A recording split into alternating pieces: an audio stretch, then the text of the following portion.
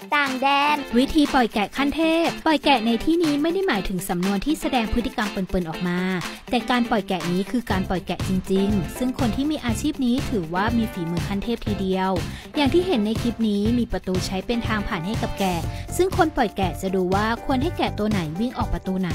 ต้องอาศัยทักษะและความชำนาญมากในการปิดประตูนั้นแล้วเปิดประตูนี้ทำสลับไปมาอย่างรวดเร็ว เป็นความสามารถที่ต้องอาศัยประสบการณ์และทำมานาน ถ้าเป็นคนเคยทำงานนี้มาก่อนรับรองว่ายากมาก ถือเป็นทักษะที่เชื่อว่าอาชีพนี้ในเมืองไทยน่าจะไม่ค่อยมี เพราะเราไม่ค่อยมีแกะให้เรียนสักเท่าไหร่